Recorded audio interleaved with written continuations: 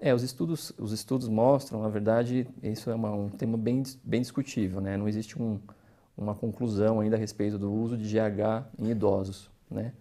É, esse é um tema controverso, né? Que está muito em pesquisa ainda e, na verdade, se dá o GH em idoso de acordo muito com o quadro clínico e a dosagem de GH e o GF1, né? Na idade, do, na idade, na terceira idade, vamos colocar assim, né? É, então, o GH nessa terceira idade é muito para cada caso, para cada caso individual. Você tem que olhar o paciente, dosar os seus hormônios, avaliar o quadro clínico e aí avaliar a necessidade, avaliar a necessidade do seu uso e avaliar de acordo com a resposta, né? se teve uma melhora do quadro clínico. Mas ainda não está fechado na literatura se realmente tem, se existe uma indicação clínica clássica de se repor o hormônio do crescimento, GH, na terceira idade. Né? É um tema muito em aberto ainda.